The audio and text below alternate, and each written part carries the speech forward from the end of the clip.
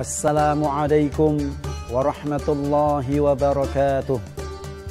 الحمد لله الحمد لله الذي خلق الإنسان علم القرآن ونزل القرآن في شهر رمضان. أشهد أن لا إله إلا الله وأشهد أن محمدا عبده ورسوله.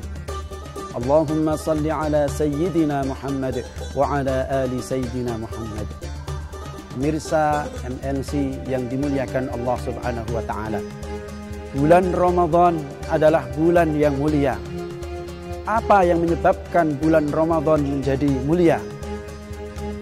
Kalau kita pelajari dan kita teliti yang menyebabkan bulan Ramadan menjadi bulan yang mulia karena di bulan Ramadan Al-Qur'anul Karim diturunkan di bulan Ramadan. Allah Ta'ala berfirman Syahru Ramadan alladhi unzila fihi al-Quran. Bulan Ramadan Bulan diturunkannya Al-Quran. Kita tahu bahwa apa pun dan siapa pun yang berdekatan dengan Al-Quran Maka dia akan menjadi mulia. Malam yang paling mulia adalah malam Lailatul Qadr karena malam Lailatul Qadar adalah malam diturunkannya Al-Quran. Inna anzalnahu fi Lailatul Qadar. Sungguh telah kami turunkan Al-Quran pada malam Lailatul Qadar. Malaikat yang paling mulia, asyraful malaikah adalah malaikat Jibril alaihissalam. Karena malaikat Jibril adalah malaikat yang diutus oleh Allah Subhanahu wa taala untuk menyampaikan wahyu Al-Quran kepada baginda Nabi kita Muhammad sallallahu alaihi wasallam. Nabi yang paling mulia, asyraful anbiya wal mursalin adalah baginda Nabi kita Muhammad sallallahu alaihi wasallam karena Nabi Muhammad adalah nabi yang diberikan oleh Allah Subhanahu wa taala Al-Qur'anul Karim pemirsa MNC yang dimuliakan Allah Subhanahu wa taala. Maka untuk itu kita harus dekat-dekat dengan Al-Qur'an agar hidup kita menjadi mulia.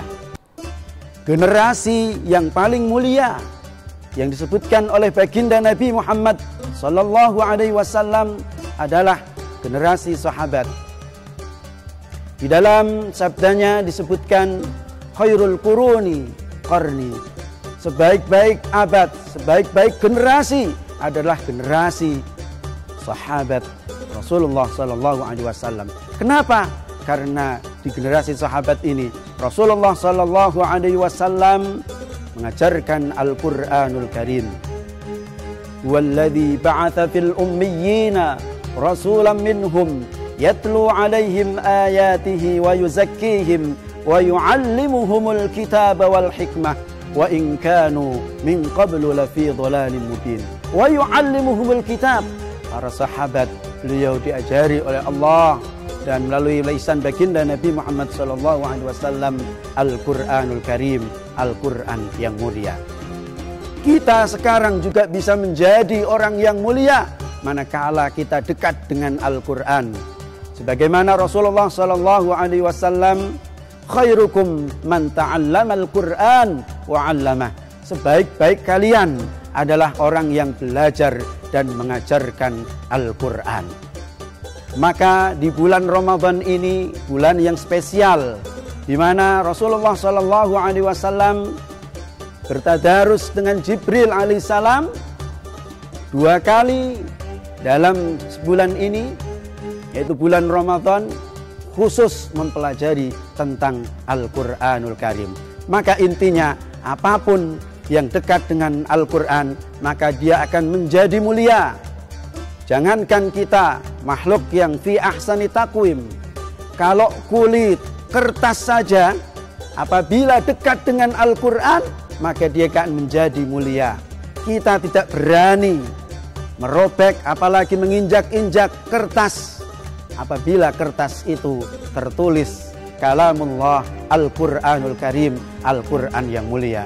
Maka di bulan Ramadan ini, marilah kita dekat-dekat dan kita membaca Al-Quran, ajak keluarga kita, tetangga kita, dan seluruh pemirsa untuk senantiasa membaca dan bertadarus Al-Quranul Karim.